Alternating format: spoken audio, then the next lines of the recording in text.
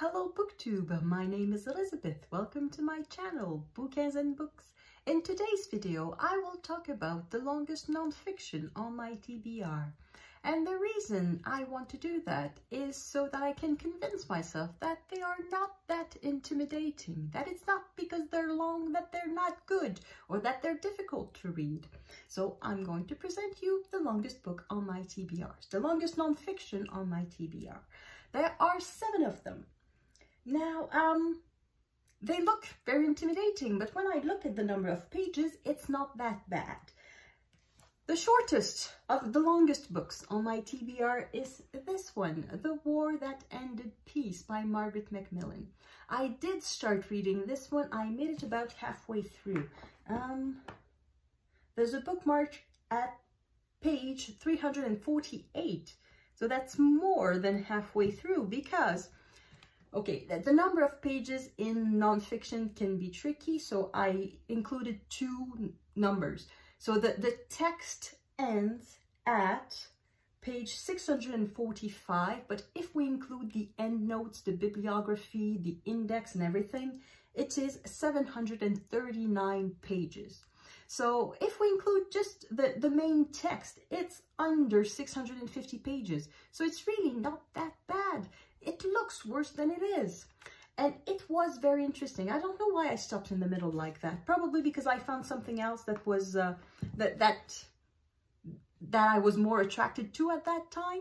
Uh, but uh, there's really no reason why I stopped reading it. It was very good. So if I pick this one up again, and I will probably pick this one up again, otherwise I wouldn't keep it, I will probably just skim the first half that I've read and uh, start reading it uh, slowly and attentively uh, for, for just the second half. So this is probably the least intimidating book on this pile because it's already half read. The next one is something that I bought for my own birthday this year, but I haven't read it yet and it's not translated in English, but I'm going to present it anyway because it's there. It is Miroirs de la Musique. It, it looks fascinating.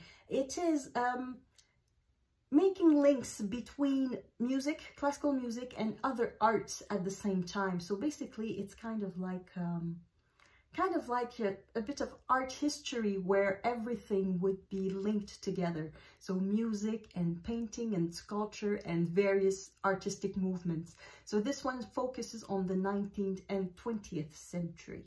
So this looks fascinating. And that one is 695 pages plus annex is 728 pages. Next biggest book on my TBR is Gödel Escher Bach An Eternal Golden Braid by Douglas R. Hofstadter. And this one won the Pulitzer Prize, so it's supposed to be very good. It has 777 pages, all included and the text itself ends at page 742. So um, it, it, it's not quite a mammoth because a mammoth is supposed to be 800 pages and I'm still not into mammoth territory. And this one also has quite a few illustrations. Oh yes, these ones are gorgeous. Wait, wait, wait, wait. I should prepare a little bit more. There. So that these are drawings by Escher and Bach is the famous uh, composer and um, I don't even know what it's about uh, because I, there's just a bunch of praise at the back. There's no summary. I don't know why I bought it. I, am pretty sure I heard somebody talk about it. Otherwise, I wouldn't have bought it because uh, the, the summary at the back just tells me absolutely nothing. Uh, maybe it's a book about thinking thinking about thinking about creation, creative thinking, about, uh, um, yeah, I suppose it's about that. so if you've read it, let me know in the comment what it's about.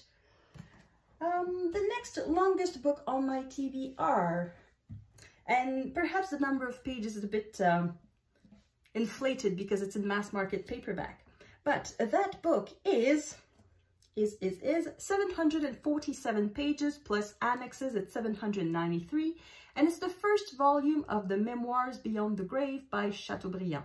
And there are four volumes. So I don't have the other three, I just have this one. I still have not read it.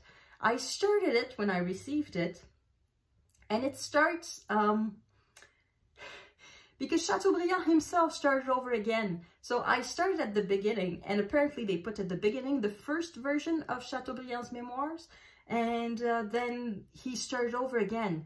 So I, I sort of had the feeling like I read the first, um, the first 150 pages for absolutely nothing because uh, Memoirs of Beyond the Grave, book one, and we are at page 184.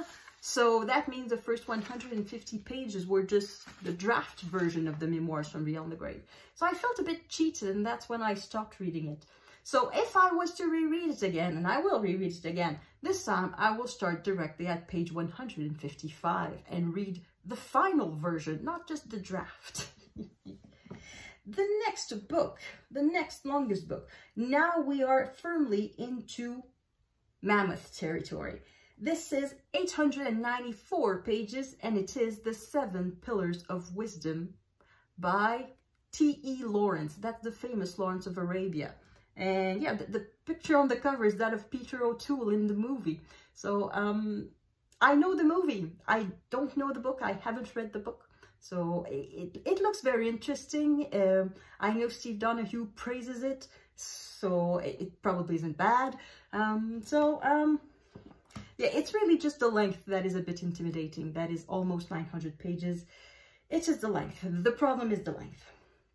Now, the two longest books on my TBR in nonfiction at, hold on a second, at 908 pages plus the appendix that brings it to 1007 pages is Dreadnought by Robert K. Massie. Um, I have to admit, I'm dreading the Dreadnought. uh, it looks it's a period of time that I am interested in. As you can see uh, with uh, The War That Ended Peace, this covers the same time period of the years preceding World War One. It's a fascinating period. It's one that I did study uh, a little bit at, in college and university.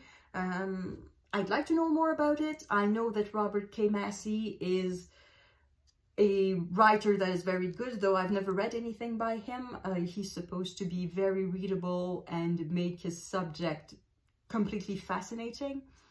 I am nevertheless intimidated by the number of pages in this book.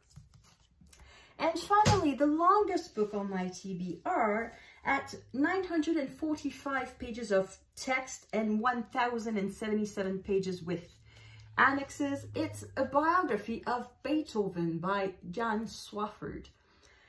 I normally, normally being pre-pandemic times, I go to concerts very often. I love classical music and I love to know more about the composers and this biography looked just fascinating.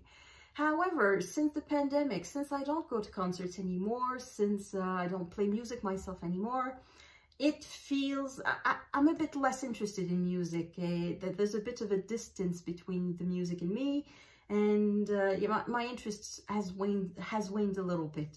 So uh, th that is why the book is lingering on its shelf. It's because I don't know when I will be able to attend a concert that will feature Beethoven again. Uh, there are concerts going on, there are tickets on sales, but I don't want to buy them because I'm afraid it's going to be cancelled. Uh, I'm still a bit apprehensive. Also, if I'm not worried for myself, I am vaccinated and I don't have any uh, particular uh, condition, underlying condition. I don't want to bring potentially COVID to people who might be more vulnerable. So um, I'm very apprehensive about that. So I'm still not going to concerts. So all that to say that perhaps Beethoven is a bit less attractive than it was um, a couple of years ago. So that, that is why the book is on my TBR on my shelves and because it's 1,000 pages long. So that is the longest nonfiction book on my TBR. Let me know in the comment. Have you read any of them? Do you think they're worth it? Uh, I'm sure they are. I'm sure they are. Otherwise, I wouldn't keep them. I wouldn't buy them. But uh, yes, let, let me know if you have read them. And let me know what is the longest nonfiction on your TBR. And I'm curious about that.